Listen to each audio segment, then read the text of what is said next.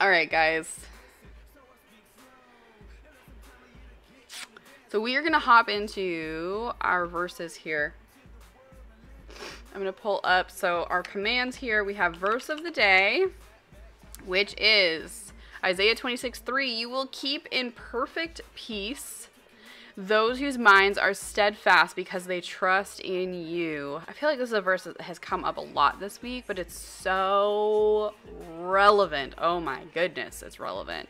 You keep in perfect peace those whose minds are steadfast because they trust in you. When we keep our minds focused on God and we throw our trust into God, He absolutely brings us peace.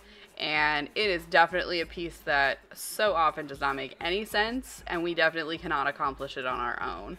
Um, it is a peace that only God can provide. Amen. Amen. So trust in God, guys. Trust in God and keep your mind focused on Him, and He will bring you peace. You need to trust that He can provide you with peace. Um, let's see. Oh, we got a chapter verse, um, verse of the day too. We'll read that as well. Husbands, love your wives, just as Christ also loved the church and gave himself up for her, so that he might sanctify her, having cleansed her by the washing of water with the word. Amen. Love that. Cool. Um, I totally don't know where my glasses are, so forgive me as I like lean and squint a lot today, apparently. No clue where they are. They're probably upstairs. Um, okay, so we're gonna hop into, um, actually I want to start with Isaiah. So we, that's our verse of the day, and I want to start here. Um, this is a song of praise. I don't necessarily plan to read the entire thing, but I just think that it is worth diving a little deeper there. Um, so this is Isaiah 26. We're in the NIV translation. In that day, the song will be sung in the land of Judah. We have a strong city. God makes salvation, its walls and ramparts. Open the gates that the righteous nation may enter, the nation that keeps faith. You will keep in perfect peace those whose minds are steadfast because they trust in you. Trust in the Lord forever, for the Lord, the Lord Himself, is the rock eternal. He humbles those who dwell on high. He lays the lofty city low. He levels it to the ground and casts it down to the dust. Feet trample it down, the feet of the oppressed, the footsteps of the poor. The path of the righteous is level. You, the upright one, make the way of the righteous smooth. Let's just pause for a second. Life sure as heck does not feel smooth sometimes, right?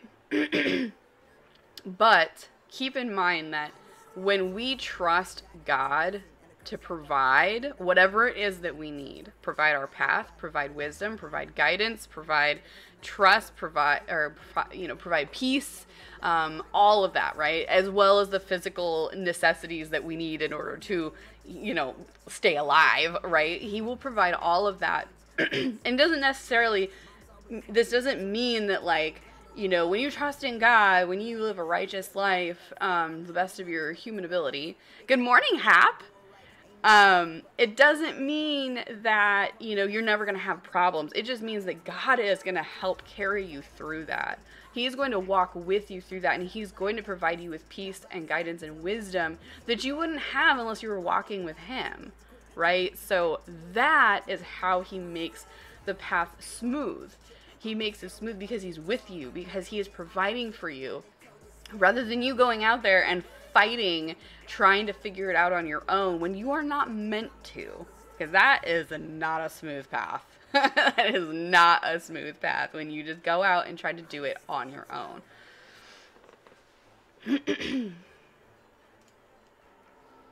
yes, Lord, walking in the ways of your laws, we wait for you. Your name and renown are the desire of our hearts. Absolutely. Walk in God's ways and make sure that He is what your heart desires. He is what your heart is after. My soul yearns for you in the night. In the morning, my spirit longs for you. When your judgments come upon the earth, the people of the world learn righteousness. Ooh, man.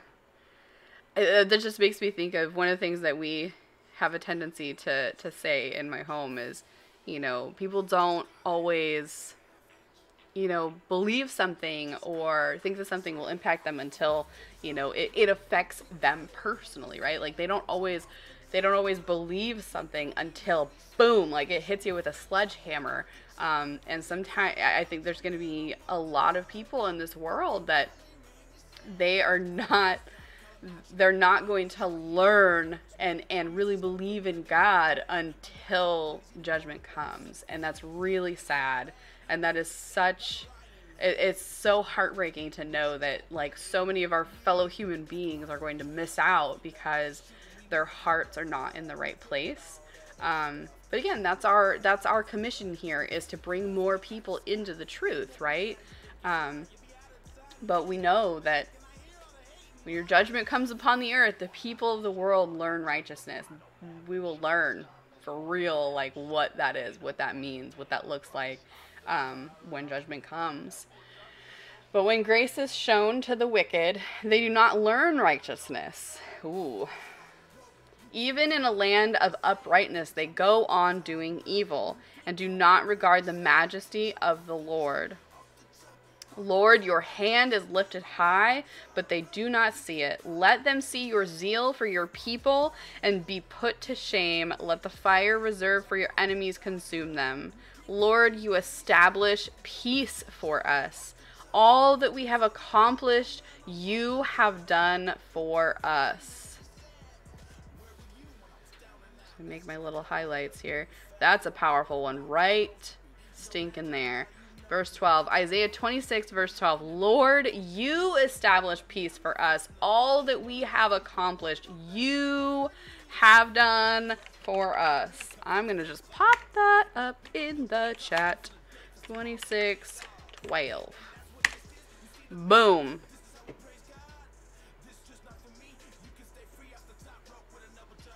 That may be one of my favorite verses now. one of my new faves. Lord our God, other lords besides you have ruled over us, but your name alone do we honor. They are now dead. They live no more. Their spirits do not rise. You punished them and brought them to ruin. You wiped out all memory of them. You have enlarged the nation, Lord. You have enlarged the nation.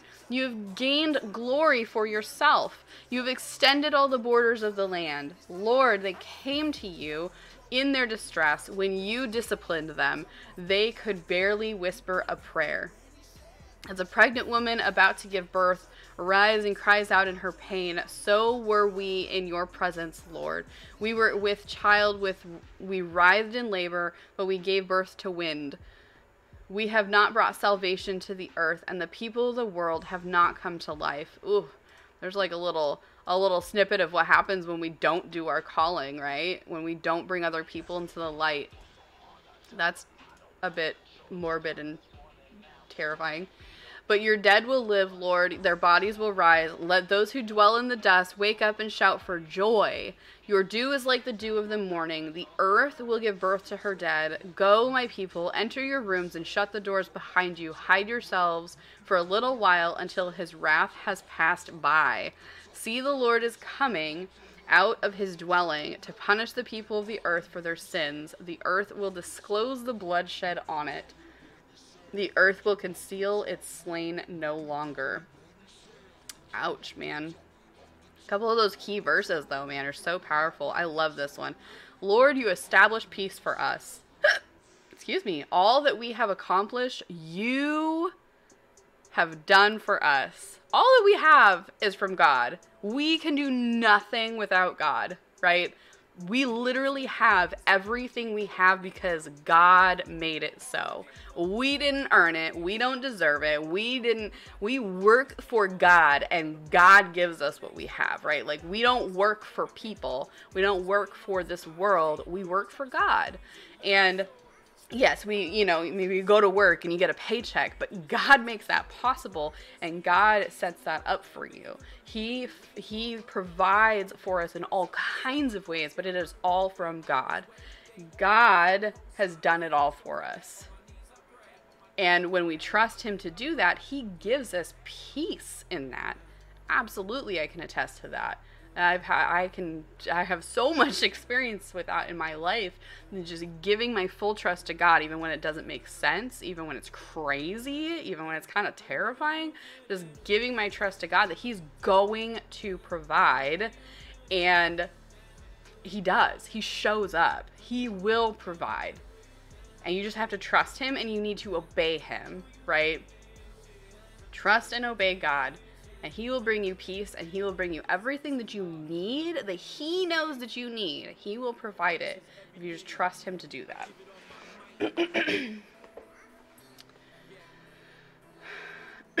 Excuse me. Goodness gracious. And then um where was it? There was another one and then this one was the other one that really kind of jumped out at me was Isaiah 26 verse 7, the path of the righteous is level. You, the upright one, make the way of righteous smooth. Again, it making it smooth, it's not saying that God is going to, oh, you know, you have no problems in your life now. Like that's not what he's saying. He's not saying that you don't have problems. He's saying that he's going to he's going to walk with you through those problems and he's going to give you peace along the way. He's going to help you and guide you through those problems instead of leaving you to fend for yourself, right? Or you going off and stubbornly trying to have control of it all and figure it out on your own like we are not meant to do. That is not a smooth path when you try to just go figure it out on your own. That is a really, really tough path, and it's pretty dang impossible to find peace in that. Um, but we can find true peace when we trust God and obey God and follow Him and let Him lead our lives. That's how we can find that peace and that rest that we so badly need. And then you will keep in perfect peace those whose minds are steadfast because they trust in you. Absolutely. Absolutely. I just realized I haven't done my steps and I actually forgot to track my steps for yesterday. So hang on one second while I do that.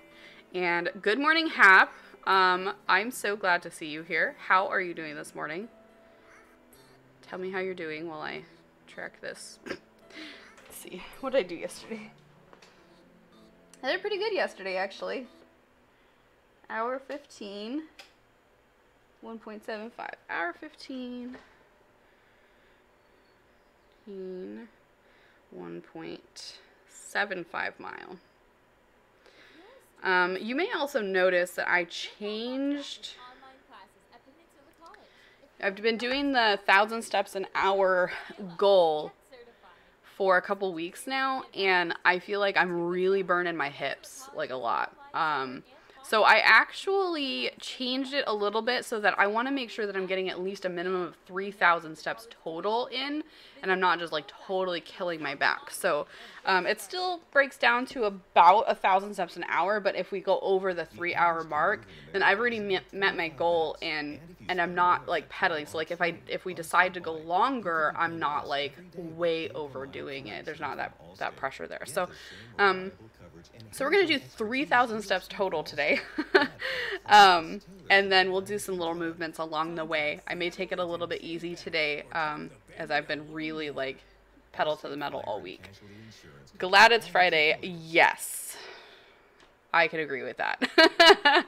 Is your Friday going well so far? I hope so doing really well, so that's good. Don't want to overdo it. Yeah, exactly, exactly. I really, you know, and and especially I have a bad hip, so I really need to be conscious of my body and what it's telling me. And it's telling me, okay, you're you're doing great, but like let's like slow down a little bit and and having just a slightly um, you know more realistic reasonable goal for my body and then if i can exceed that on any given day cool but like i i shouldn't be pushing so hard every single day because that's how you hurt yourself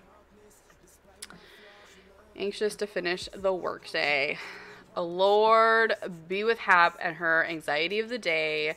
um, and help her to get through her work productive and focused on you and focused on getting your work done. God, just thank you so much for bringing her in here this morning and just speak to her today. Give her peace, give her rest, give her focus, give her productivity today, and just help her to have a restful weekend this weekend. Amen. Sometimes you need to rest from high activity. Exactly, exactly.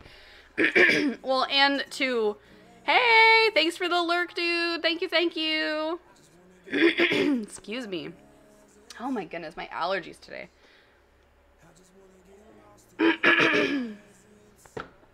I'm so sorry for clearing my throat on you guys. That's awful. Um, yeah, dude. Like, you know, again, like, I don't want to promote just like overdoing it. I don't want to like, you know, just because it's something that I want to do and and and everything. I'm not going to just completely stop, but I'm also not going to push myself harder than my harder than I should. So, you know, and I mowed the lawn on Wednesday and that was brutal. Like it hurt my back. So, I just, you know,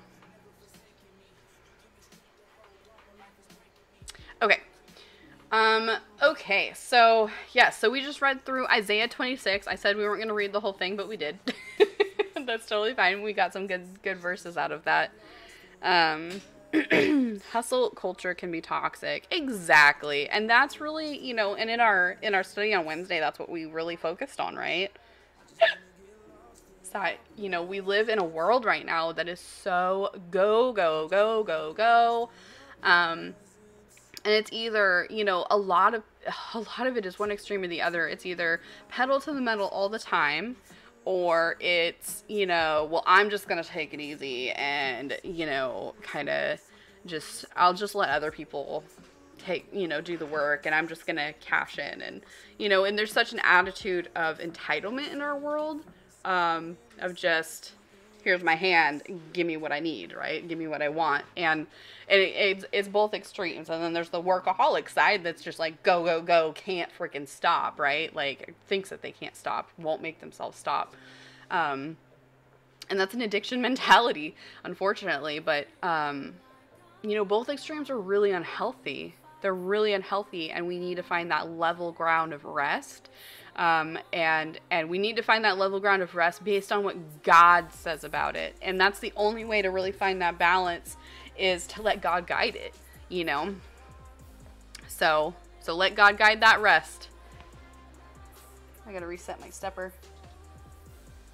If anybody is not aware, I use a QB stepper. It's amazing. So that's our step goal is um, is 3,000 steps on the stepper um, during our time together today. So so I will get at least 3,000 steps on my stepper today. Um, and I just like to promote healthy habits, um, movement, no, not just sitting on our butts because it's far too easy to do. Um, but it's a QB stepper. It's very quiet. It's very awesome. I love this thing. If you are interested in knowing more, let me know. I'll hit you up with some information. Um, no, it's not like a sponsor or anything. I just purely love this thing. um, okay, so we're going to hop over to uh, Corinthians. So we are in Second Corinthians chapter 2. And this one in particular, I I think I actually want to read the whole thing here too, just for context sake. Okay, so we're going to actually read through the whole of Second Corinthians chapter 2. And then our focus is going to be on verse 13 and 14, but, but we're going to just read the whole thing. Okay? So Second Corinthians chapter 2 says in the NIV translation, So I made up my mind that I would not make another painful visit to you for if I grieve you, who is left to make me glad but you whom I have grieved? I wrote as I did so that when I came I would not be distressed by those who should have made me rejoice. I have confidence in all of you that you would all share my joy. For I wrote you out of great distress and anguish of heart, and with many tears, not to grieve you, but to let you know the depth of my love for you. Um, keep in mind, so this is the second letter from Paul to the Corinthians. Okay, so he wrote them the first letter First Corinthians, and then this is his second letter to them. And he's basically like, like I'm not like this is this is painful. Like like I'm I'm very upset by if I remember correctly, the, the you know the Corinthians were very disobedient. Um, and so he's writing them a second letter and saying, this it opens up with, So I made up my mind that I would not make another painful visit to you. Ooh, Paul doesn't even want to come to see you. Like, that's. Ooh. If anyone has caused grief, he has not so much grieved me as he has grieved all of you to some extent. Not to put it too severely, the punishment inflicted on him by the majority is sufficient. Now, instead, you ought to forgive and comfort him so that he will not be overwhelmed by excessive sorrow. So, in other words, people will be messing up. And Paul is saying, forgive them. Forgive those people that are that that have messed up. They've obviously, you know, they've had enough punishment inflicted on them by everybody being angry with them, right? And being upset with them. Forgive them and comfort them and move forward together. I urge you, therefore, to reaffirm your love for him. Another reason I wrote you was to see if you would stand the test and be obedient in everything. Anyone you forgive, I also forgive. So does God. And what I have forgiven, if there was anything to forgive, I have forgiven in the sight of Christ for your sake, in order that Satan might not outwit us for we are not unaware of his schemes. Okay, here's the key. Oh, correction is necessary, but there's a point where it's not helpful anymore. Goodness, I've seen that in families and even in churches. So sad. Absolutely, absolutely. You know, we, we have this conversation a lot in my house being a parent. Um, you know, correction is very necessary and it's and it needs to be done out of a place of love um, and, and, and it needs to be done. If we don't correct those that we love um, based on how God wants us to, to help, you know, to, to correct people, and if God doesn't correct us, then we run amiss, right? Like, it's just, you don't, like, how are you going to know that you need to be corrected if you're never corrected? Like you you're not going to correct yourself, right? Like that's not how it works 99% of the time, you know. And when we correct ourselves, it's usually because a seed was planted that we needed correction. So, are we really correcting ourselves? No, we're we're God is nudging us, "Hey, you need to fix this." And you can obey that or not. And if you don't, then there's consequences to follow, right? Okay, picking up Second Corinthians chapter 2, we're going to pick up at verse 12. Now, when I went to Troas to preach the gospel of Christ and found that the Lord had opened a door for me, I still had no peace of mind because I did not find my brother Titus there. So I said goodbye to them and went on to Macedonia. But thanks be to God who always leads us as captives in Christ's triumphal procession and uses us to spread the aroma. Ow. Sorry. And uses us to spread the aroma of the knowledge of Him everywhere. Okay, I just want to pause for a second. These are our key verses right here, okay? I still had no peace of mind because I did not find my brother Titus there. So I said goodbye to them and went on to Macedonia. But thanks be to God who always leads us as captives in Christ's triumphal procession and uses us to spread the aroma of the knowledge of Him everywhere. So he's saying he is having a hard time finding peace right now. But even in his moment, because I mean, we're gonna have moments where we we just have we just struggle to find peace, right? We're gonna have those moments, and Paul's having one of those moments. He's not able to find peace, even though he he knows that the Lord opened a door for him, but he still can't find peace of mind, right? But even in that moment, even in that anxiety moment, even in that lack of peace moment, he is thanking God and recognizing that even though he doesn't have peace right now, he's thankful that God will always lead him. And God will always use him to spread the word of God and the truth of God and the knowledge of God everywhere. So even though he doesn't have peace, even though he's not in a restful moment, he is not resting right now. He is not not at rest. Right? He's still thankful because God is using him and God is leading him. And that is an incredible reminder that we need. Even when you're anxious, you have a lot to be thankful for. Even when you cannot find peace, even when you are not in a moment of rest, you are in a moment of hard work, of, you know, rigorous work, of anxiety, of stress, of chaos, even when you're in the middle of a pandemic. God will lead you and God will use you to spread the aroma of the knowledge of Him everywhere. So you can choose to let God use you, and you can be grateful for that, or you can miss it. And you can dwell in that anxiety and let that overtake you. You know, and and go that anxious route and and tune him out, right? trust God. And when you are feeling anxious, lean into Him and just acknowledge that He's in control and just acknowledge that He has a plan. And yes, we will all have those anxious moments to some degree or another. Some will feel it stronger than others and more often than others. But you know what? God has a plan for you too. And He is using you for His kingdom for his glory. He's using you to spread the knowledge of him everywhere. Even through your anxiety. Even through your lack of peace. He wants to use you. And Paul, while he's in his anxiety moment, is still thanking God for leading him and for using him, even in his anxiety.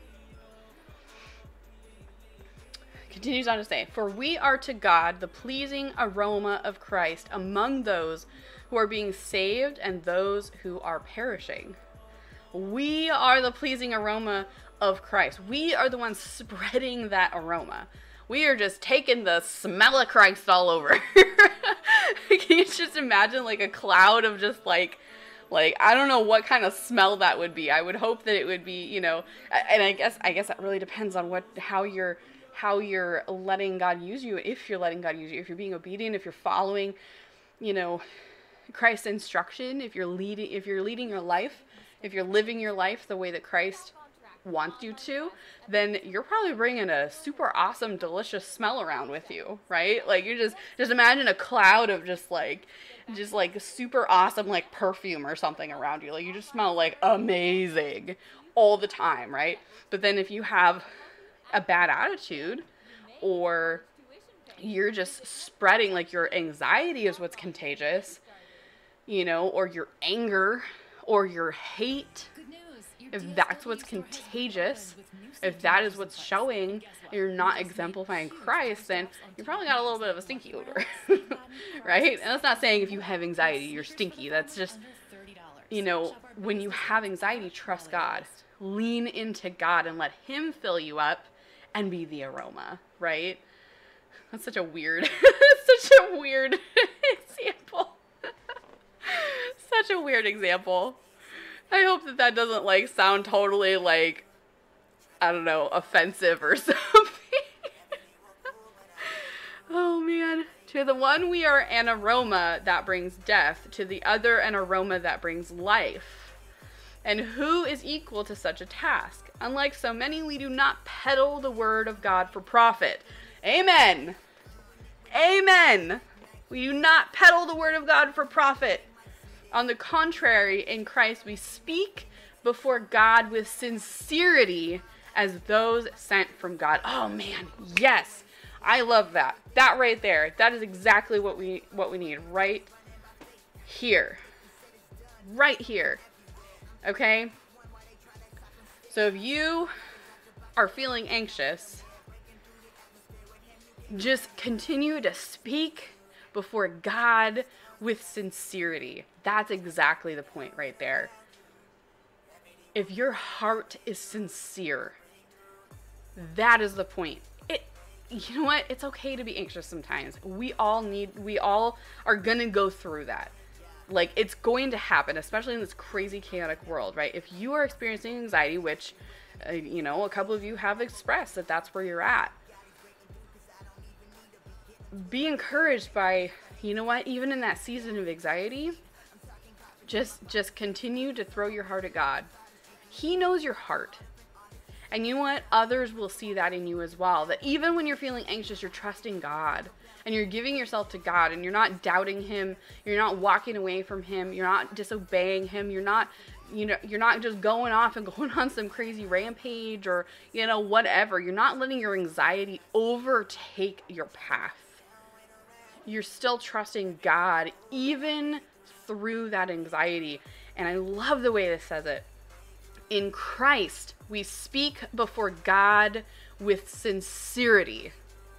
That right there is what we're doing, right? That is what we need to do, even through the anxiety, even through that lack of peace, even through the chaos. Because absolutely, we live in a very chaotic time right now, but we can still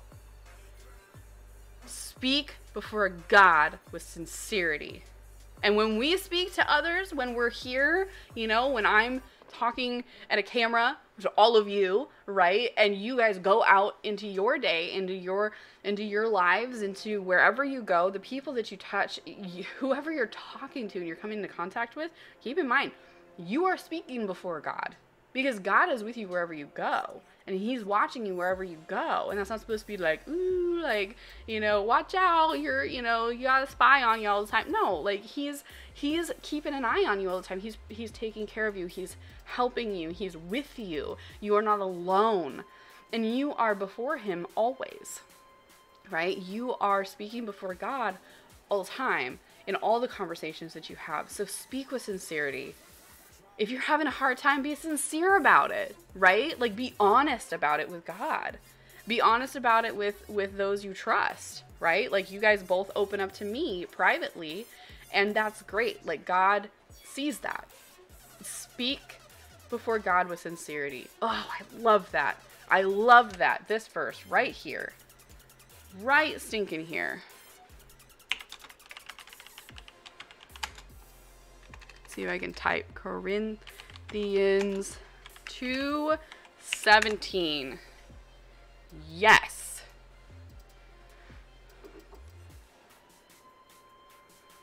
Such a weird translation. I need to figure I've been trying to figure out how to get into this train get into this bot. I need to talk to Yoshi. but but seriously, I think oh man, if if you are struggling today, I would encourage you to just snag this than just this the second half of this verse. Second Corinthians chapter 2 verse 17 the very last verse in this entire chapter in this letter t- in this in this second part of the letter to the Corinthians. Just absorb that. Speak before God with sincerity even when you're anxious even when you're upset. No matter what is going on no matter what chaos you feel just suffocated by speak with sincerity. Be honest with God. Be honest with with yourself, be honest with those around you, right? Be sincere. Don't put on a facade, right? Don't say, "Oh, everything's fine" when you're feeling like the world is falling apart inside. Like, don't do that. Be honest, be sincere, and and bring it to God. Bring it to trusted friends, loved ones, family, whatever. Um, and just and just man, I can't even stress that enough. I love that. That right there. Any other verses that speak out at you guys?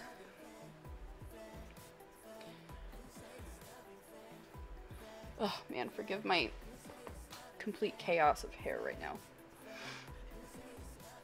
Any other verses that speak out at you guys?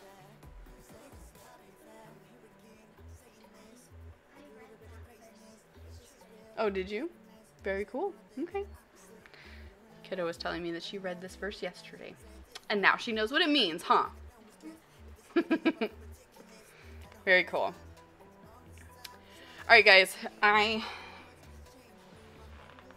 Look at that. I got over a thousand steps in without even realizing it. Awesome. okay, guys. We're going to keep the conversation going, but I'm going to take a really brief little break, get something uh, to drink real fast, and uh, and then we're gonna hop over. I I, I was gonna I was gonna do ESO today. I mean, I was gonna do uh, Minecraft today, but I really want to do ESO today. So I'm gonna skip the Minecraft. I apologize for anybody who's here because I wanted to see Minecraft. I doubt that that's the case, if I'm being completely honest. But if you are, I apologize. I'm gonna hop into some ESO. I'm feeling very ESO deprived lately. Um, and I just want to I just want to do some ESO. So we're gonna do that today. Um, but I'm gonna take a short little break here, real fast. Um, play with the commands. Like if you are in a space where you can um, pull up the commands, play with them. Um, there's some fun ones in there. Like that are just with the bot. Like the bot has some actual like really fun commands in there. Like little games you can duel, you can do like roulette, you can um, all kinds of cool stuff. Um, so it's pretty fun. Um, also, I encourage lurking while you're working. If you um, if you are getting stuff done, if you happen to step away to you know lurk while you're working or whatever, we have the command um, exclamation work lurk one word. But also while you're lurking, you are accruing points still. Oh my gosh, what is with my hiccups today? They're like ten times more than usual you are accruing channel points. With your channel points, you can do some fun stuff. So as you um, continue to watch, as you continue to tune into the channel in whatever capacity, you're accruing those channel points um, to use for all kinds of fun stuff. So I encourage you to do that so that you have some extra perks in the channel. Um, and I would love to see if you are trusting us to be on in the background. So that command is exclamation work lurk or there's exclamation lurk. Either one is totally fine. Um, so give me a moment to take a brief little break and then we are going to hop into some ESO and continue our conversation about rest. Okay? BRB, y'all.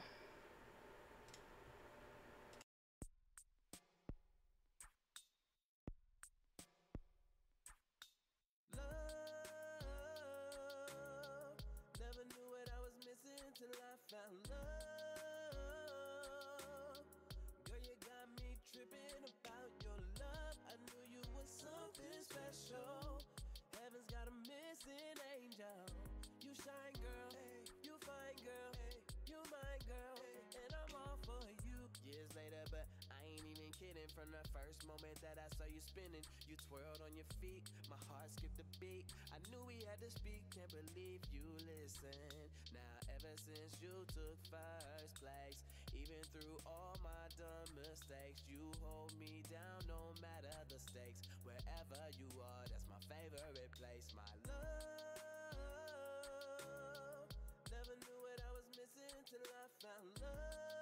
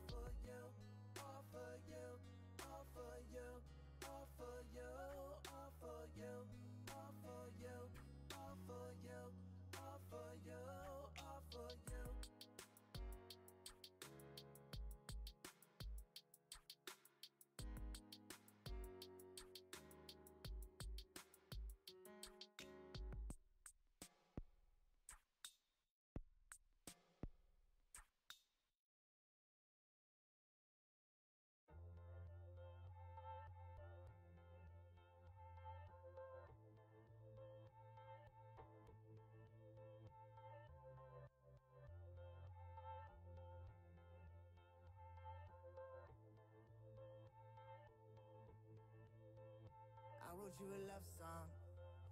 I'ma let the music play. No matter how the time is gone, I won't let this feeling fade away.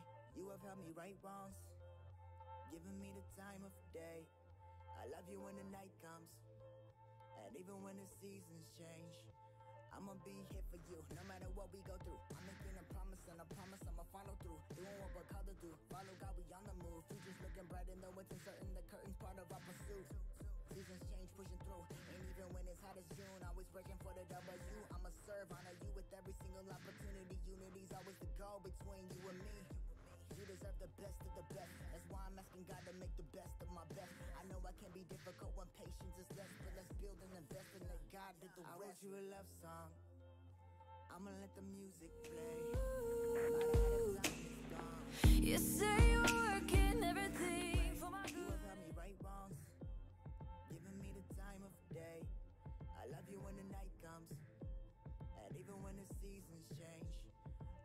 here for you, for for you.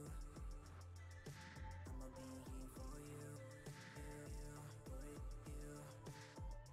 Here for you, you, you. I'ma be here for you, you, you, for you. I wanna be the one that you can talk to after a long day's work. Tell me all the problems, I am all ears first. Learning how to listen, gotta crawl before you run. Started every sentence with grace and love in my words. I know this thing is bigger than myself. Constantly seeking wisdom and asking God for his help. Even in the small things, wanna do it well, cause how I treat my other half makes life whole for myself. And even when the hard times come, I'ma be a constant like a kick in the drum. Sticking to the love that started in the first place. And one day we'll see the kids and we'll both say, love song. I'ma let the music play. No matter how the time is gone, I won't let this feeling fade away. You have helped me right wrongs, giving me the time of day. I love you when the night comes, and even when the seasons change. I'ma be here for you, for you, for you. I'ma be here for you, you,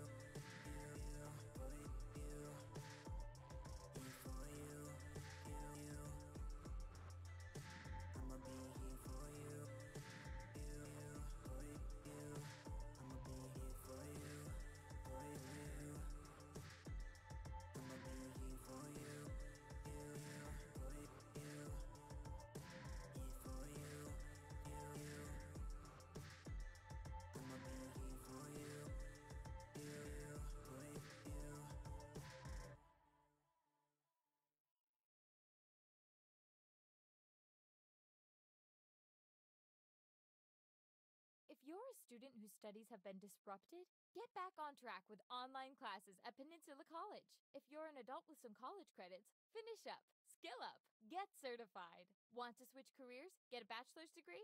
Do it now! Peninsula College has online summer and fall classes, so you can learn on a schedule that works for you as you stay healthy at home. And you may get your college tuition paid. Visit pencol.edu slash online and get started. Here's what we want everyone to do count all the hugs you haven't given, all the hands you haven't held, all the dinners you didn't share with friends, the trips you haven't taken. Keep track of them. Each one means one less person vulnerable, one less person exposed, and one step closer to a healthier community. So for now, keep your distance, but don't lose count. We'll have some catching up to do. Kaiser Permanente.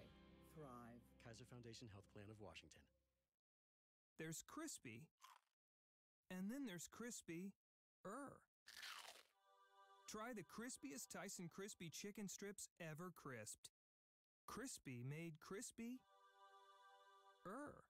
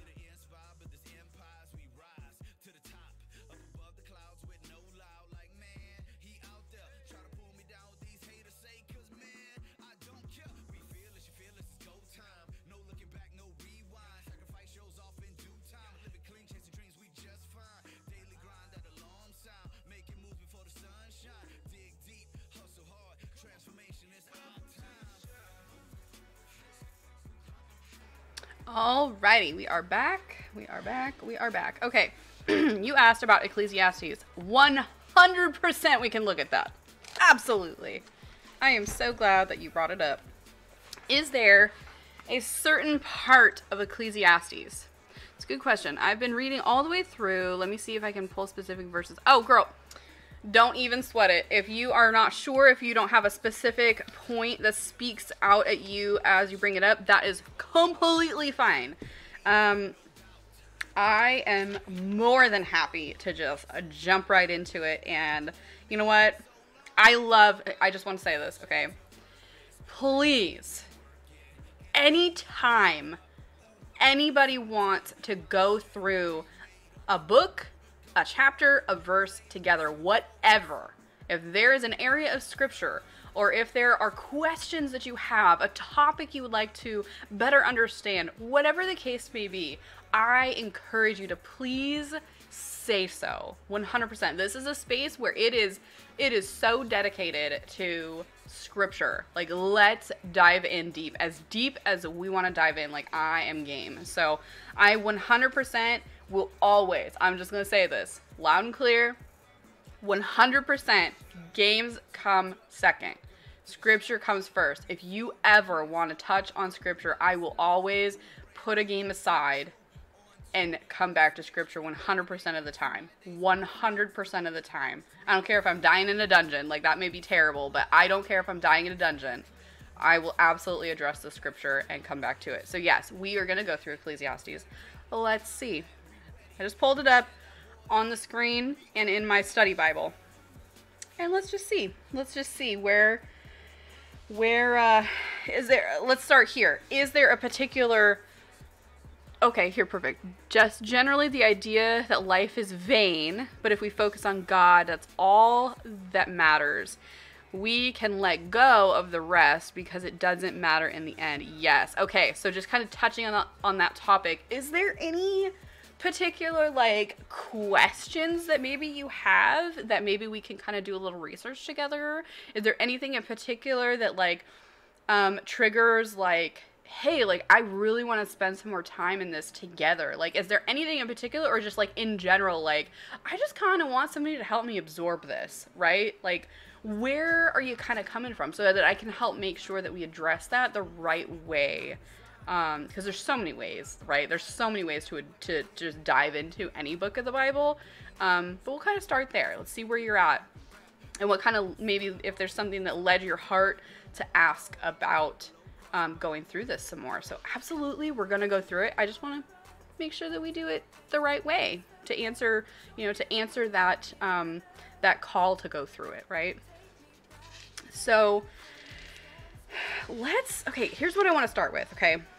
While you answer that question, this is what I feel like. You know what? This is whenever I'm like, I want to jump into a specific book study. I look at in my study Bible. I have um, Perfect. Okay. Thank you, uh, Yoshi. I I try to look at like the synopsis at the beginning, okay? And let me tell you, I have a project, okay? Tell me what you think of this cuz maybe I'm like way off base, maybe like it's totally like why would you do that? But like I feel like God is calling me to to write and formulate synopses of each of the books of the Bible for our blog for people to consume that um in a way that is catered to our community. And you know not like you know oh i'm gonna skew what it says but like no like let's let's come up with synopses that that make sense to us right? But are are accurate like it's gonna be based on like history and or you know bi- biblical context all that stuff um, but i would love to put synopses together for each of the books of the bible i think that they're so important so important.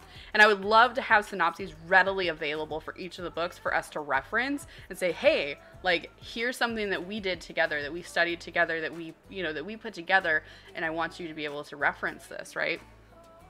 Okay. Um, Ecclesiastes 1, 1 through 2. I just realized I totally took a break and I forgot to find my glasses. So forgive me as I continue to squint. I don't, I just, I do that sometimes. I have no I literally have no idea. They're probably upstairs. Um, okay. The words of the preacher, the son of David, king in Jerusalem. Vanity of vanities, says the preacher. Vanity of vanities, all is vanity. That sounds so dramatic, doesn't it? But it really is. Like it continues on. We'll just we'll just jump off there for just a second here and then we'll jump back over. Um so it just it continues on just a couple more verses. It says, "What profit has a man from all his labor in which he toils under the sun? Our generation passes away and another generation comes, but the earth abides forever." Excuse me. Oh my gosh. Hiccups today. I tell you. My goodness. For me, I struggle with letting myself enjoy life. Like, I almost feel guilty have so many blessings in my life. Like, I should be working harder to deserve it. And a lot of what I do is wasted time, so I should focus on more important, more impactful things. Girl, okay, I'm gonna er, skirt. None of us can earn what we have. None of us. None of us can earn what we have. None of us deserve what we have. I'm sorry if that upsets anybody. Nobody, not one person, earns or deserves what they have. It is all determined and given freely by God for you specifically. God said, I'm going to give this to Hap. She's going to have that. That's what he said. And it was done. Right? It doesn't matter why. I mean, it matters why, but like, it doesn't matter why. You know what I mean? Like, you don't need to question why. But everything that we have, think about it this way, okay? This is this is where I'm at, okay? So I've gone through plenty of periods of my life where I've had like nothing. Growing up, we were dirt freaking poor. We had like nothing, okay? And I sacrificed food all the time. Like my family still to this day probably has no idea. I went like days without eating because there was no food in the house. So I left what there what there was, what tiny amount there was for other people in my house to eat. There's a lot of us. So I went days without eating, right? Point being, move forward, okay? I I didn't have a lot. I didn't we didn't really have much of anything. But I was able to to sacrifice some of what I had so that somebody else could have some, whether they knew about it or not, okay? And the same is true no matter how much you have. If you have if you have plenty, if you are immensely blessed, God is blessing you with that so that you can be generous to others in some way, shape, or form. It is not just for you. Let me look up the verse. Let me look up the verse. Oh man, great topic. Great topic. Okay, hold on. Let me look this verse up. I'm so bad at remembering like where certain things are in scripture, so forgive me. Um, verse about so we can be generous. Let's see.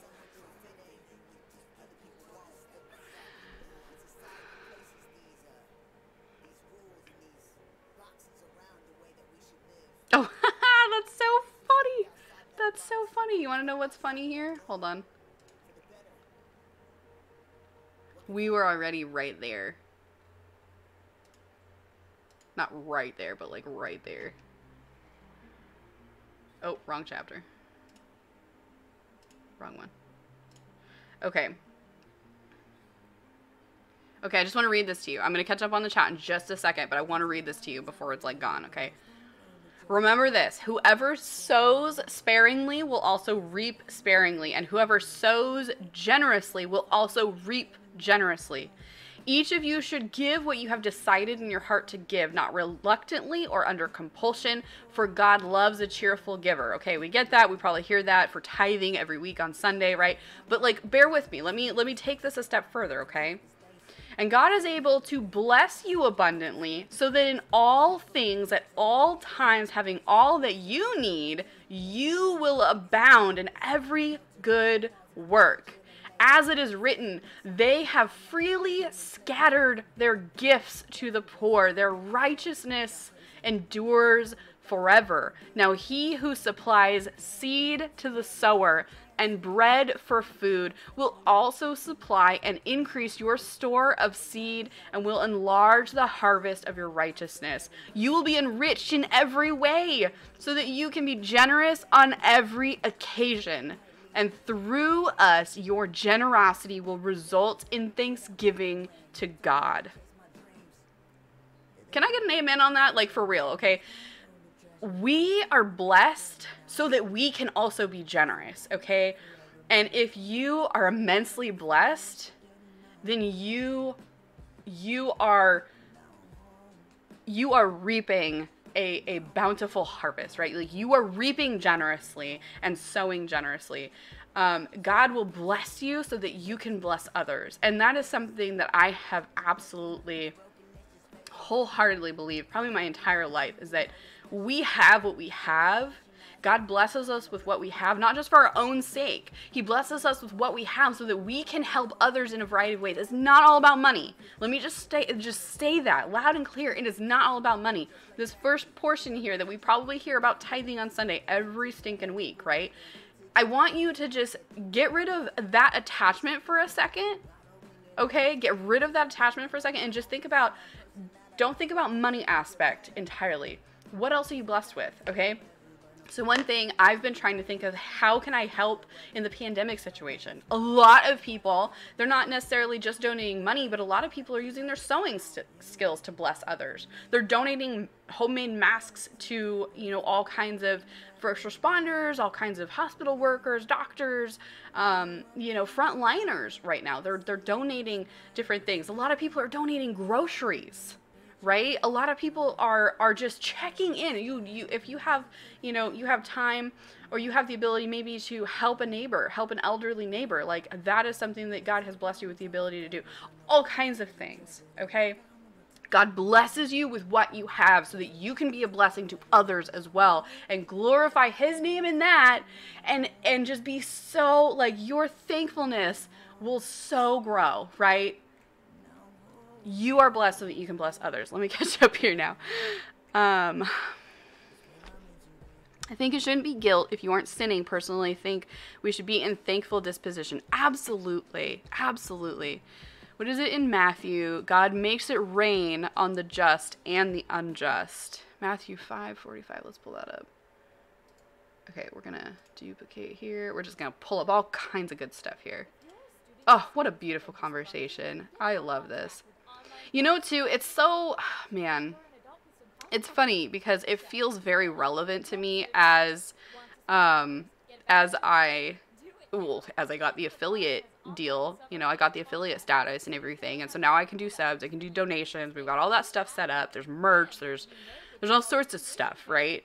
And so I've been like really praying over this exact topic. It's like, God, just give me the heart of, you know, I am not in this for money, but God, I know that you're going to provide for me and and in that provision i know that i'm going to be able to continue to to encourage and support others because of that right it's twofold it's not it's not you just you get what you get and you consume all of it it's you then get to be a blessing to others whatever capacity god calls for that to happen okay let me 5 45 okay I know it's there in the chat, but I, I want to look up a different translation of it too, because that one's a little confused. Oh, Yoshi, Yoshi, can you um can you change that translation to NIV, pretty please? I don't know how. I don't know how. Um, okay, so that you may be children of your Father in heaven. He causes his sun to rise on the evil and the good, and sends rain on the righteous and the unrighteous. If you love those who love you, what reward will you get? Are not even the tax collectors doing that?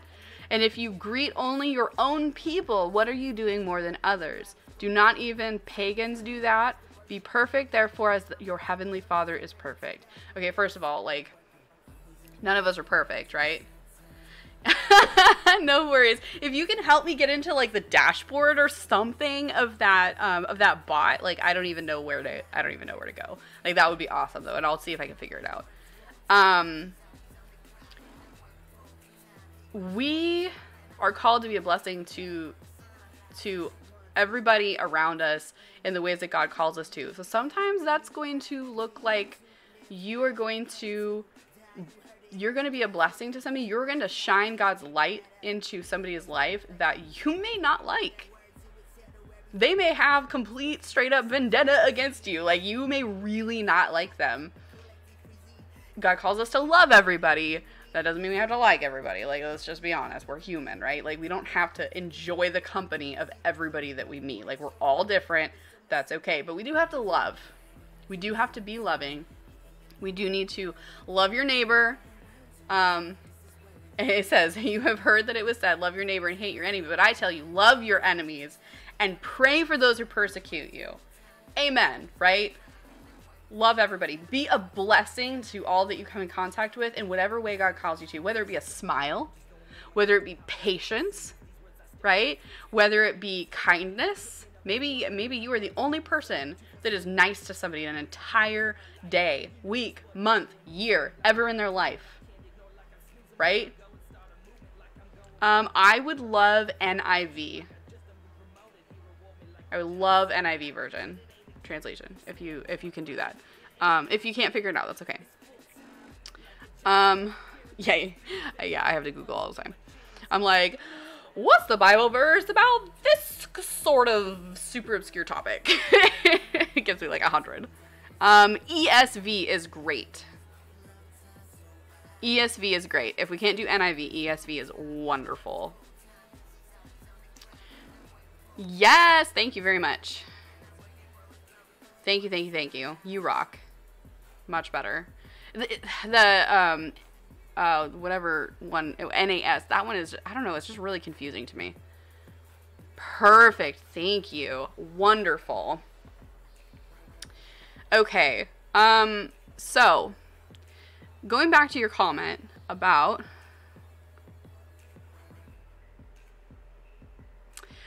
but I'm blessed enough. I should be doing more for others. I feel like I don't do enough. Anxious guilt. Okay, first of all, I think that that is a matter of pray over what God wants you to do with what you have. And like I say, that is not just money. It is not all about money. And I feel like in our culture, when people talk about giving and when people talk about generosity, they automatically relate it to money.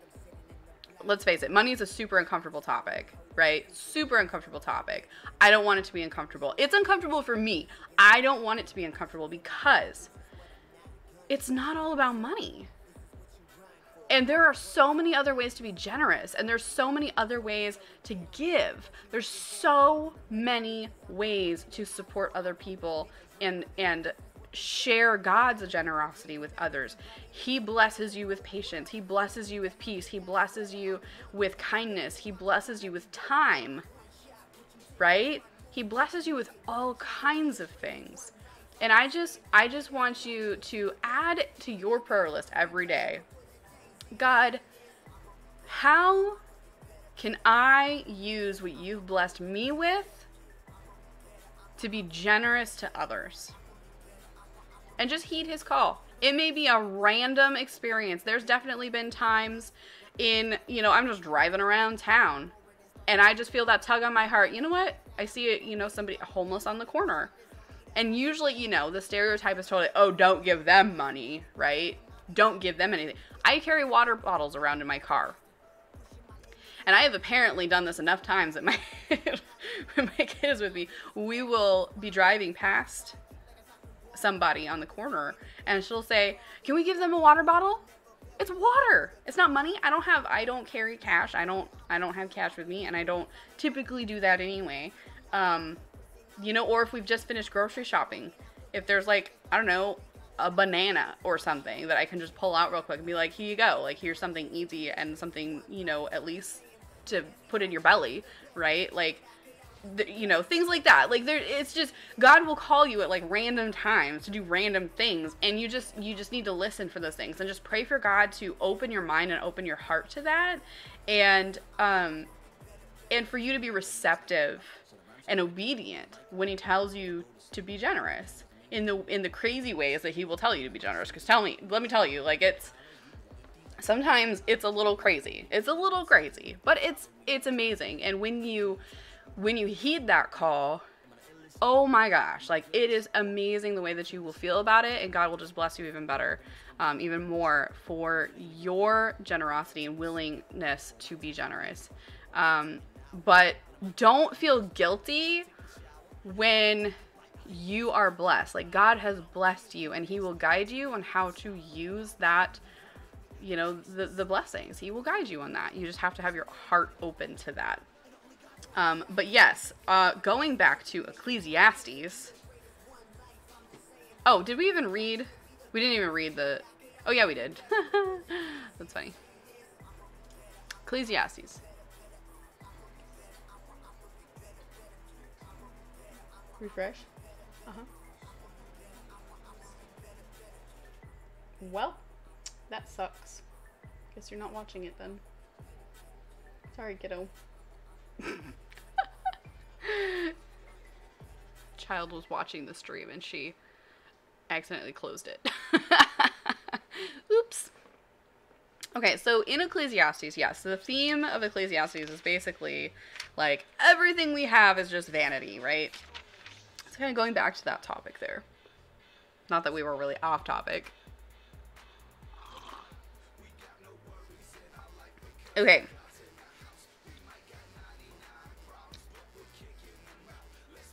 Can you even hear the music? I'm like finding a verse right now.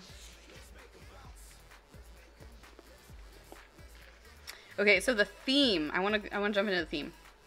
Theme of Ecclesiastes is the search for life's meaning.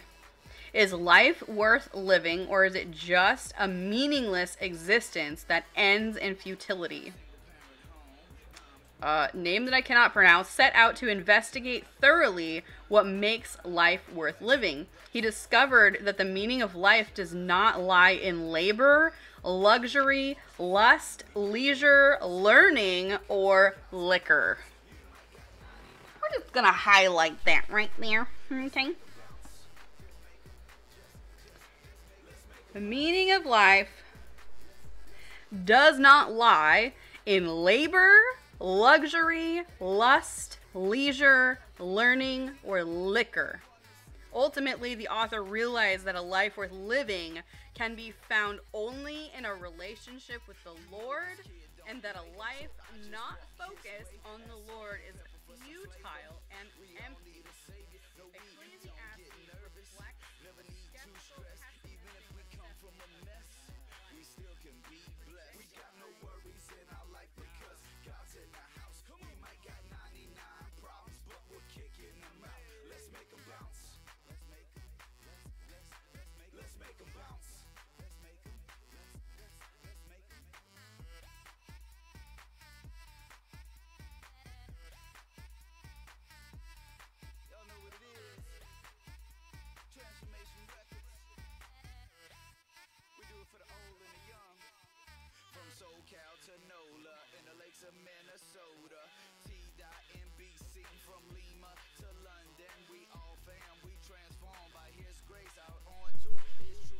What happened?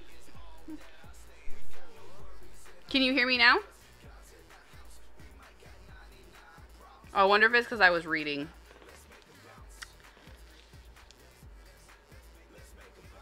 Can you hear me? Yes, no, maybe so.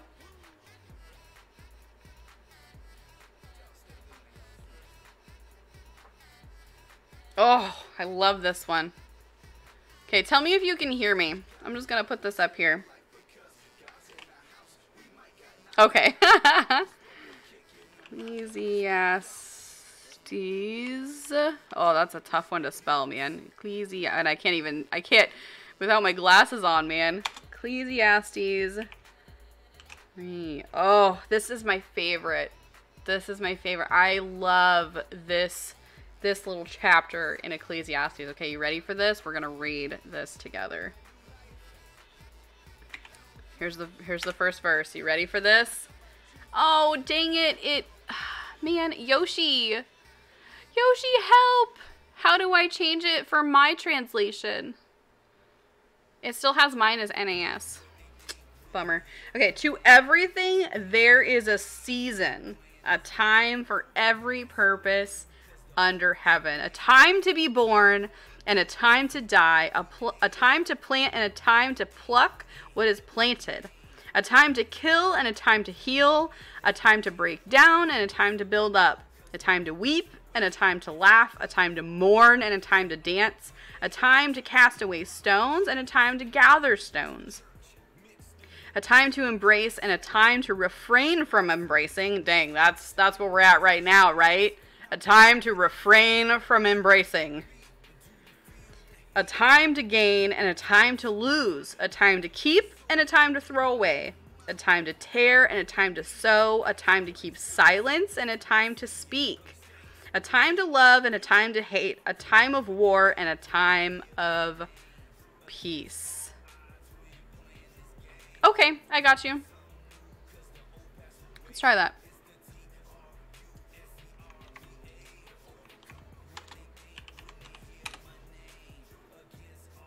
Cool. Okay. Um So I I love that and I feel like it's so relevant because do it once it should default now. Okay, let's try it now. We're just to throw this verse up a million times just to see if it'll Oh, maybe it won't. That's funny. It's like, you did this already.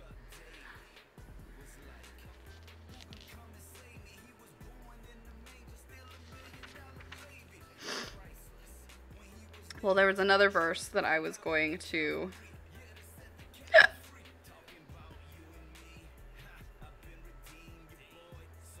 Ooh.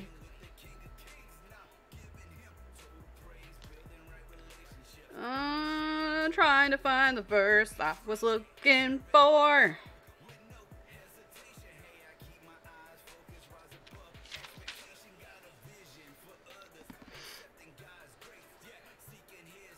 There we go. Haha! this. Oh, yes! Ready? Hap, this one's for you. I know that nothing is better for them than to rejoice and to do good in their lives, and also that every man should eat and drink and enjoy the good of all his labor. It is the gift of God. Oh, how good is that? How good is that? I know that whatever God does, it shall be forever. Nothing can be added to it and nothing taken from it. God does it that men should fear before him. That which is that which is has already been and what is to be has already been and God requires an account of what is past. Girl, God tells you to enjoy what he blesses you with. Enjoy those blessings. Yes, we have plenty so that we can be a blessing to others. But again, that doesn't always mean, you know, handouts. That doesn't always mean money. That doesn't always mean, you know, that we have to really actively go out and do something, right? Sometimes that just means being a light. Like God has blessed you to be in the position that you are in in your life, whatever that looks like, whatever that means, so that you can be a blessing to those around you and those that you come into contact with.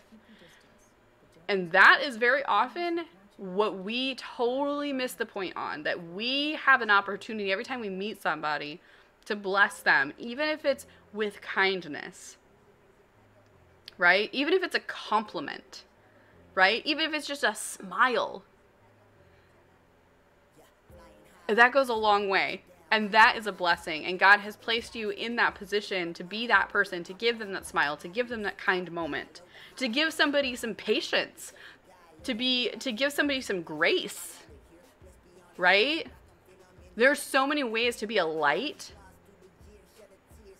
Don't miss those opportunities and don't discount that God has placed you exactly where you are each step of the way so that you can do that But also, he flat out tells you also that every man should eat and drink and enjoy the good of all his labor. It is the gift of God. God gave you this and he wants you to enjoy it. He doesn't want you to feel guilty about it. He doesn't want you to to just keep chasing after, "Oh, well I need to do more. I need to try to you will never earn it." You will never earn it. And that is not saying that there's something wrong with you. None of us will ever earn this. None of us will earn what we have. None of us deserve what we have. It is all a gift from God. Every single bit of it is a gift from God.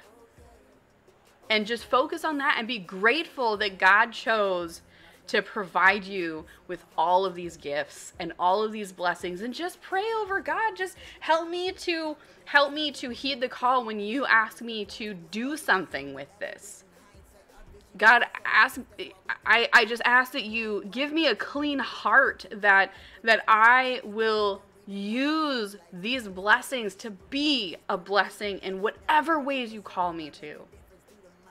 And he will trust me he will. And and as you as you stumble and fall a little bit right as as we all do you will you will begin to see those opportunities to be obedient and as you take those opportunities to be obedient and you are obedient to those calls it will continue to come clearer to you it, you will continue to hear it clearer and you will continue to get more comfortable and and peaceful and grateful about everything that you have and all the opportunities that He gives you to share that.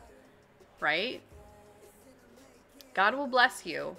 You don't deserve it. You're not going to ever earn it.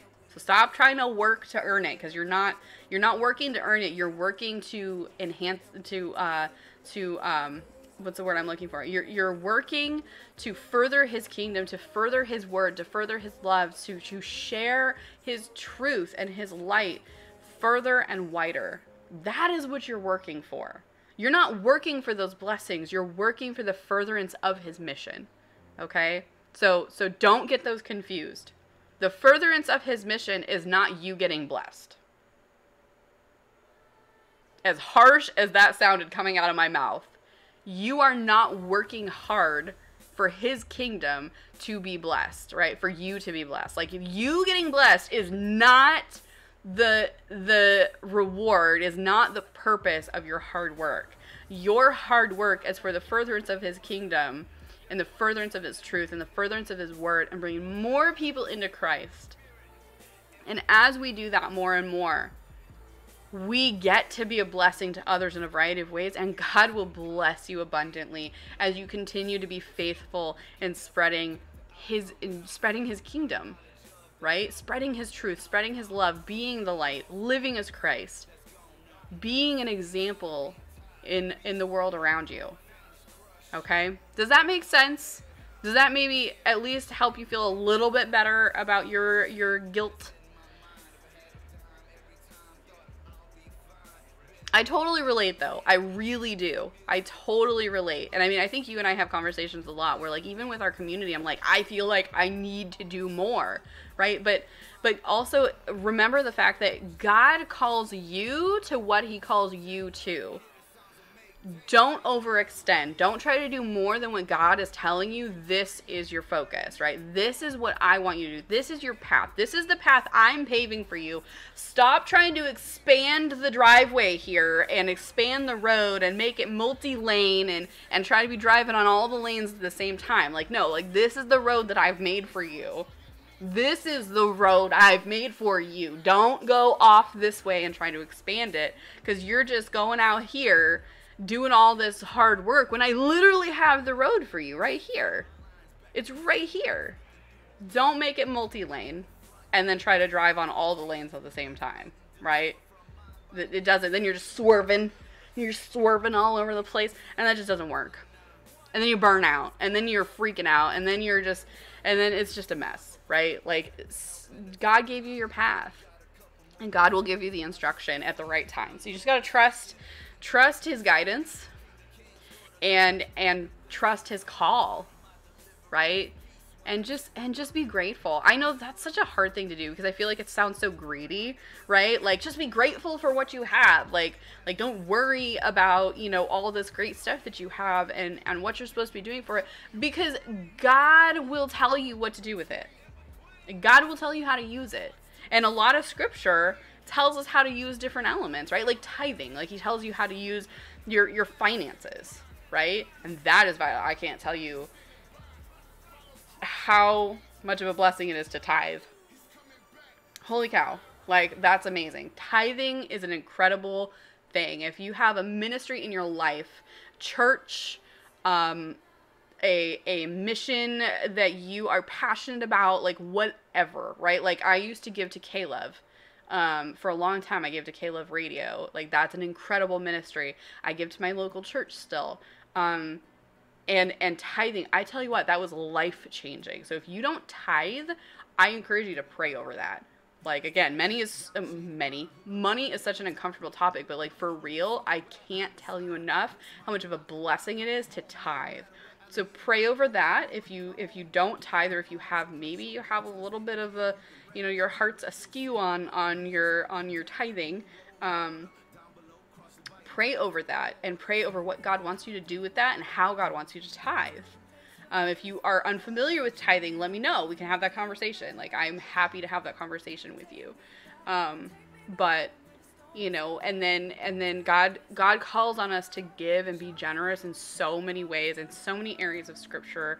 But but remember also this verse. I love this. I know that nothing is better for them than to rejoice and to do good in their lives.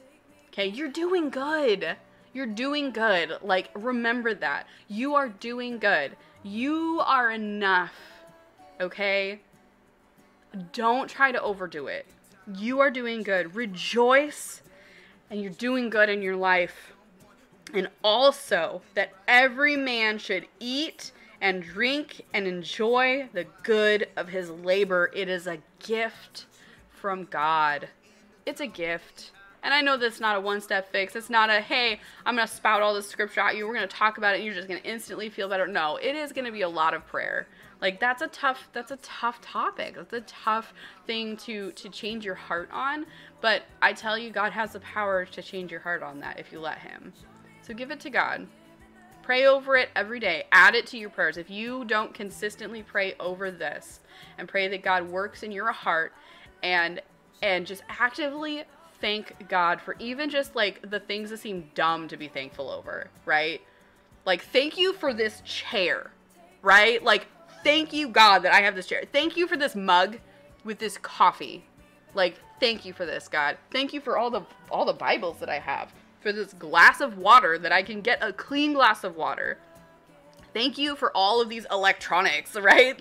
Like thank you for my um thank you for your ability to work from home sometimes right thank you for a desk to be able to use to study your word and share it thank you for this webcam thank you for this stupid cat tree that i hate um, but it helps the cat and that's great right? Like i hate it but the cat loves it so thank you for that.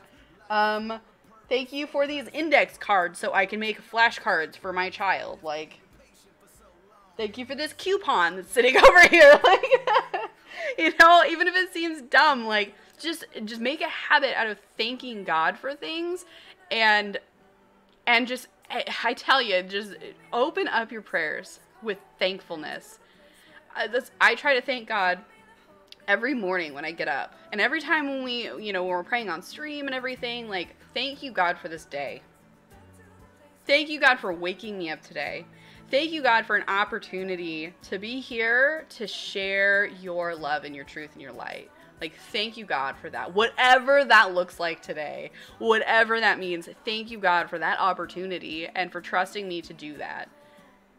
Use me, God, as you call me to, to go out and do your work. Just use me and help me and guide me.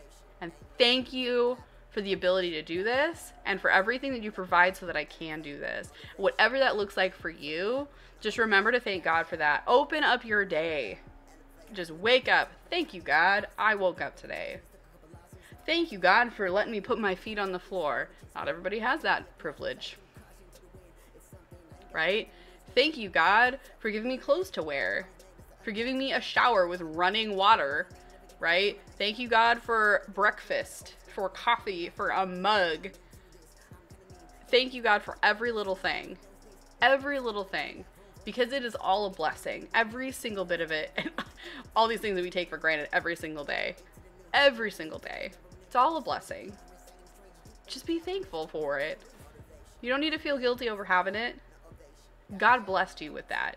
You don't deserve it. You'll never earn it. But God blessed you with that. He chose willingly, freely to give you what you have. And He will call you to use it how He calls you to use it. So you just got to be patient for that and be willing to do what He wants you to do with it. Right? Now that I've beat a dead horse for 20 minutes.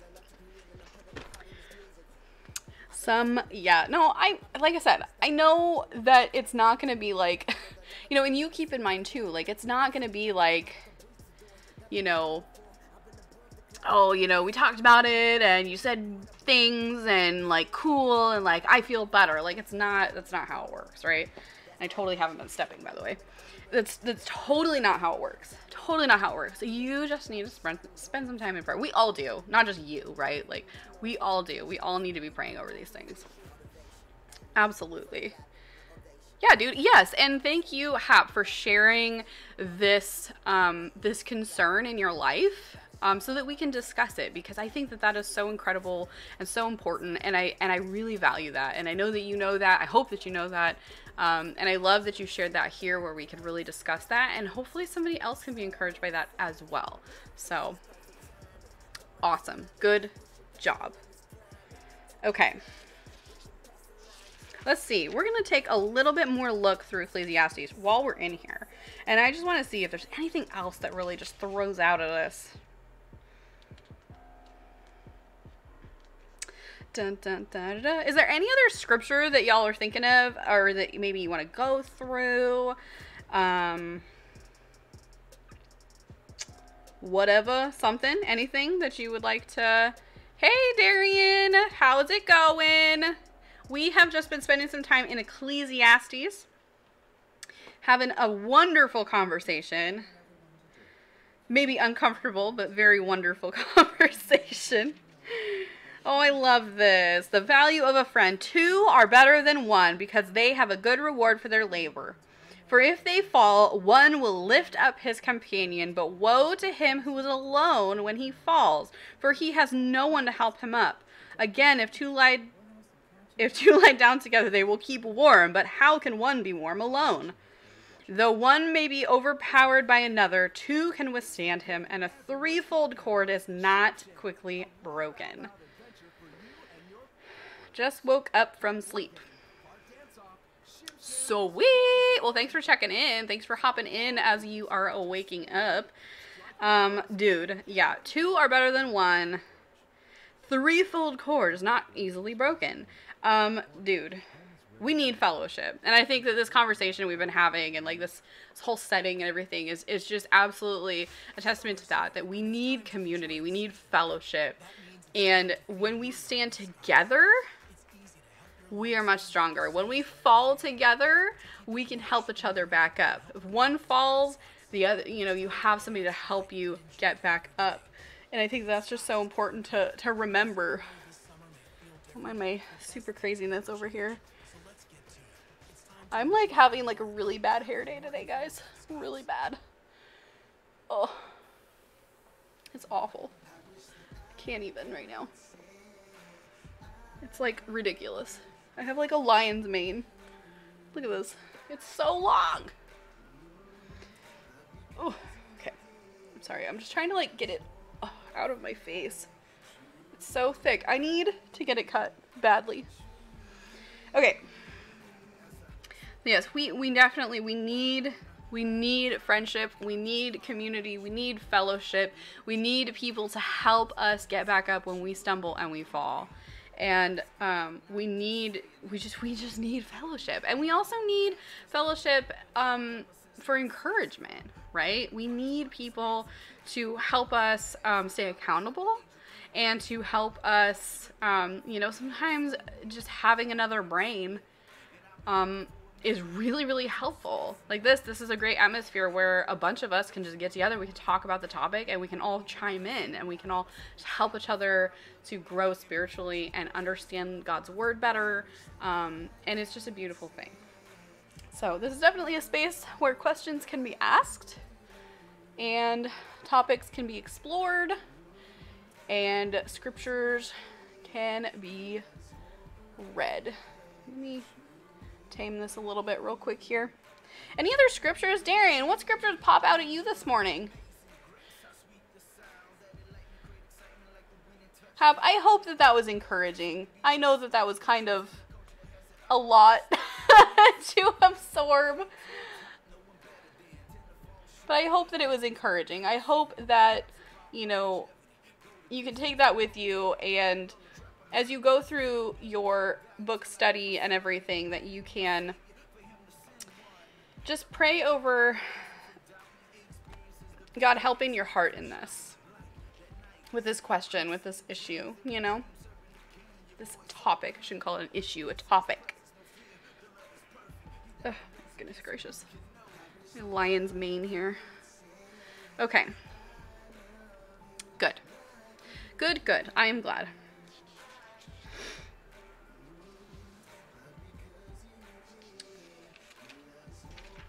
All right, guys, let's see.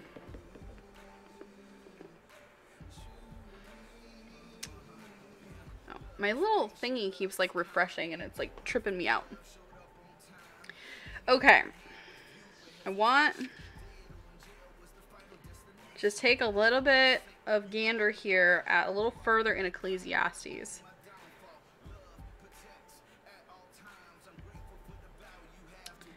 Do, do, do, do, do. I, I think, oh, yes, okay, here we go. Okay, I was like, I'm looking, I know that I'm looking for something. You know that feeling where you're like, you're looking through scripture, you're not really sure what you're looking for, but you know that God's like, God's taking you somewhere, right? You know what I'm talking about? Like, you just, you know that He's taking you somewhere. You don't know what yet. And then when you land on it, you're like, that's what He, that's what He wants me see right there, right? Okay, so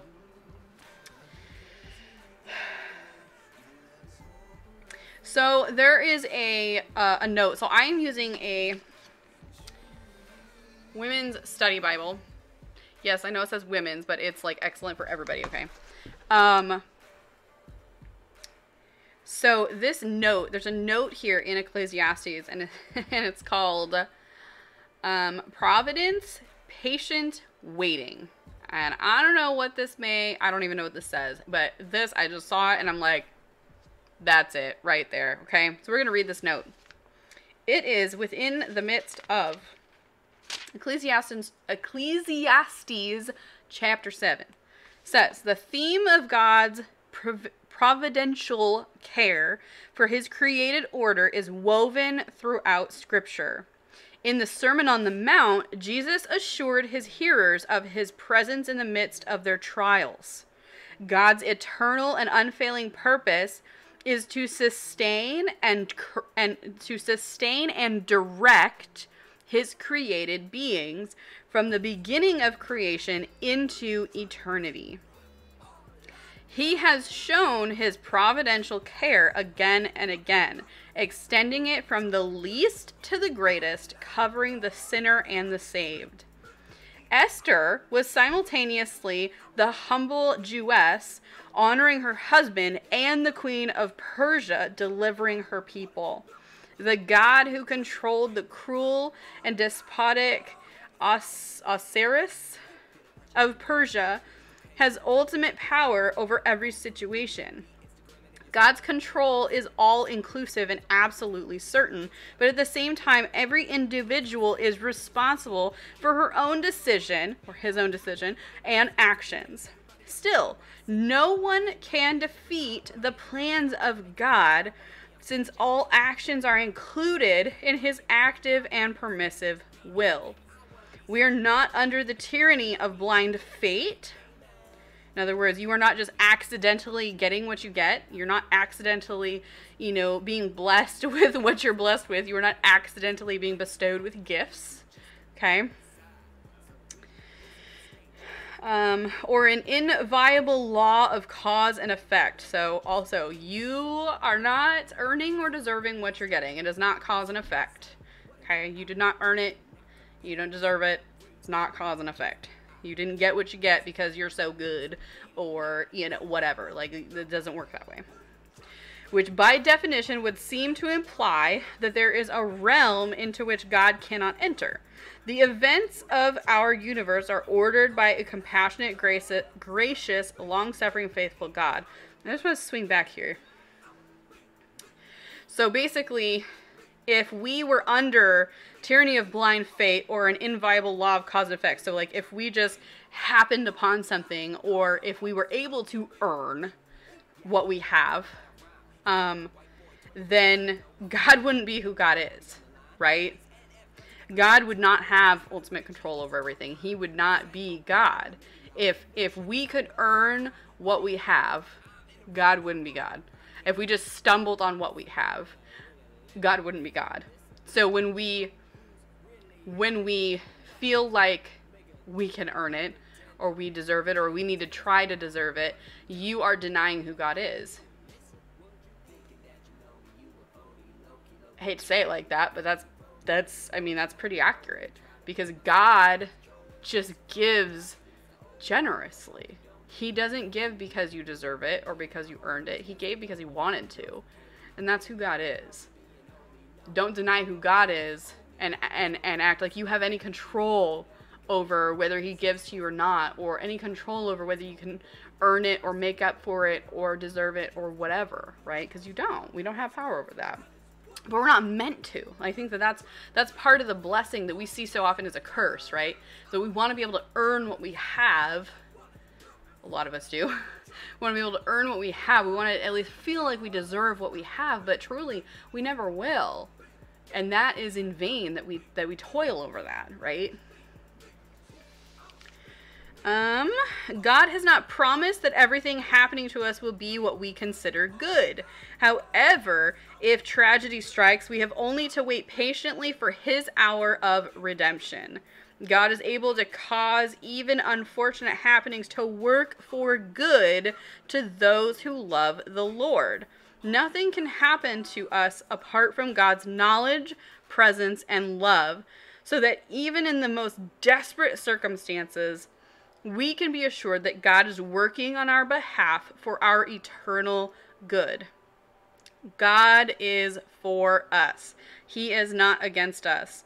In the tension between blessing and adversity, we recognize our complete dependence on Him, as well as His sovereignty over our own decisions and actions. You know what that just screamed out at me? you know what this screamed out at me? Okay. In the tension between blessing and adversity, we recognize our complete dependence on Him. Okay, do you pray for God to provide for you? I'm pretty sure we all probably do. If you don't, you probably should. if you pray for God to provide for you and then feel guilty when He does, you're just fighting yourself. You know what I mean? Like you're asking for something and then when he gives it to you, you feel guilty. Like that's that's basically what you're doing to yourself and that's not what God wants. He he answered your prayer. He provided for you. He he gave what he gave because he wanted to. Knowing, knowing, knowing and understanding that you you aren't going to earn it.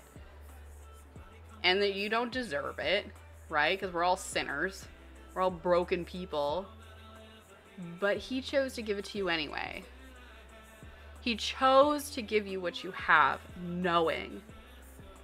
And you, if you are praying for provision or trusting God to provide for you, let Him do that and be grateful for it. Don't be guilty over it. It's not, it's not worth feeling guilty. Right? Guilt and shame are not traits that God wants you to, to exhibit. They are not traits that God wants you to feel guilt and shame need they, they have no place in your life no no good healthy place in your life there's no room for that when we are trying to um, just constantly be on the mission for god. And and i mean that most sincerely with love um, because that is a chain that you need to break that you need to let christ break. He's a chain breaker right? Those are those are those are binds that don't need to be there. Hello cat. Okay then what are you doing she just like bounced all over my desk okay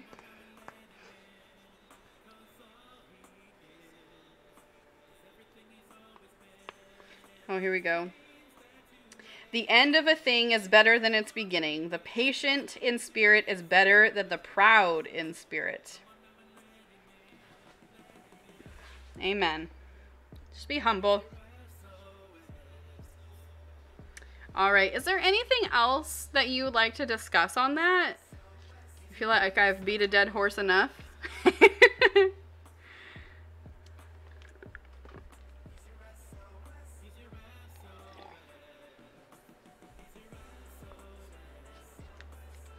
I like the song. If you were curious what the heck we're listening to, you can do exclamation playlist in the chat. And it'll give you a URL to the playlist on Spotify. It is a bunch of royalty free um, Christian like hip hop music from um, some of the artists are actually members of GMA and uh, the um, uh, blah, blah, blah. Misfit Kingdom Misfit is um, he works with a lot of the artists, if not all of the artists. I'm not sure, but he works with at least a lot of them. So it's pretty cool. I have enjoyed having this on in the background. All right.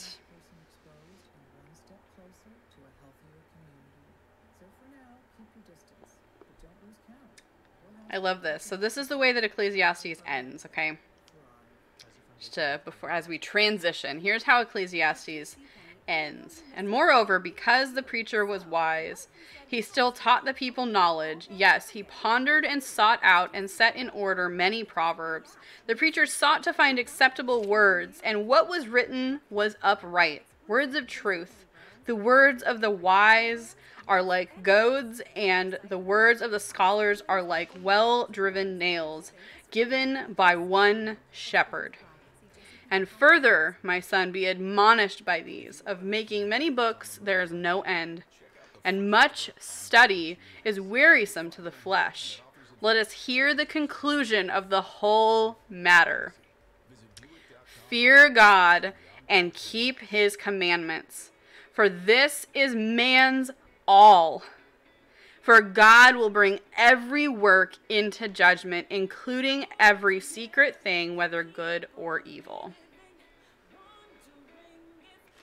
So, jumping back to what it says in the synopsis here, he discovered that the meaning of life does not lie in labor, luxury, lust, leisure, learning, or liquor.